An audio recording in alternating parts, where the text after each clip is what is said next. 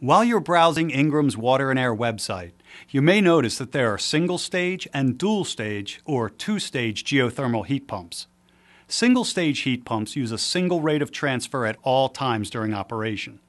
However, dual stage geothermal heat pumps, also called a two stage, use two different rates of transfer.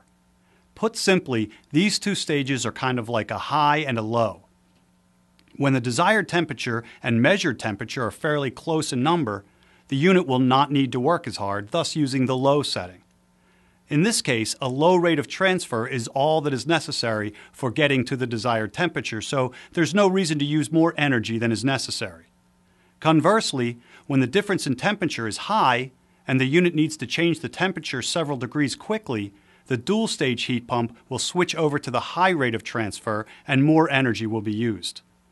Dual stage geothermal heat pumps are more versatile and can potentially save money in the long run. There are many advantages to having the dual stage geothermal system. However, there are a few situations where a single stage will be sufficient and there is no need to spend the extra money. There are many factors to consider while deciding on either a single stage or a dual stage geothermal heat pump. Since the dual stage heat pumps are a little more expensive, the next couple things to consider are is the dual stage necessary for what I'm trying to do? And at what point will the dual stage heat pump have saved enough energy or money to have been worth spending more? These are questions Ingram's Water and Air can help answer for you.